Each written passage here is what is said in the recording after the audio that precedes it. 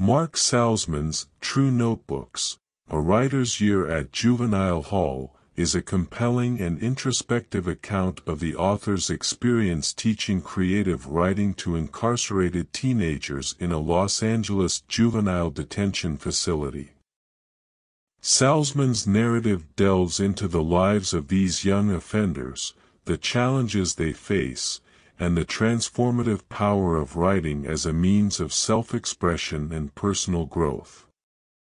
One of the central themes explored in the book is the struggle for identity.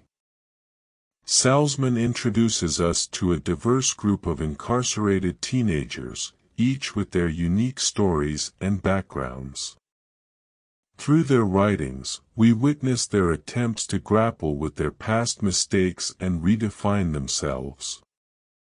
Whether it is Juan, a gang member seeking redemption, or Alex, a young poet yearning for acceptance, their search for identity becomes a common thread that runs through the entire narrative. Salzman's writing effectively captures the raw emotions and conflicts these teenagers face as they strive to reclaim their sense of self. The power of writing as a cathartic and transformative tool is another prominent theme in True Notebooks.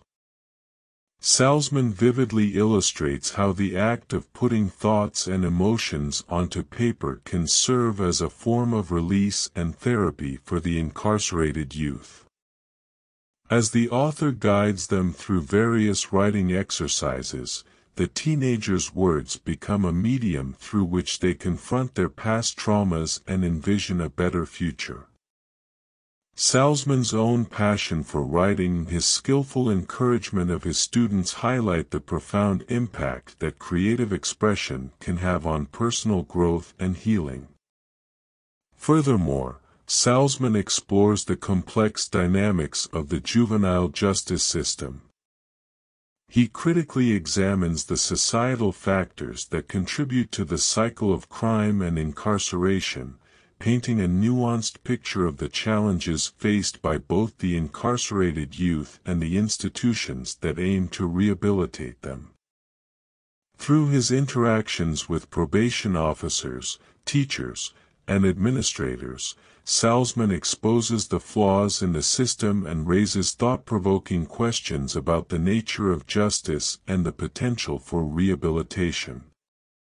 Salzman's writing style in True Notebooks is candid and introspective. His observations are keen and empathetic, providing readers with an intimate understanding of the teenager's experiences. The author's ability to navigate the fine line between objectivity and compassion allows him to present a balanced portrayal of the young offenders and their struggles. Ultimately, True Notebooks, A Writer's Year at Juvenile Hall, is a powerful exploration of the human spirit and the transformative power of writing. Mark Salzman's narrative invites readers to reflect on the complex issues surrounding juvenile delinquency, the importance of rehabilitation, and the capacity for change. By providing a platform for the voices of incarcerated youth, Salzman challenges societal preconceptions and underscores the need for compassion and understanding in the pursuit of justice.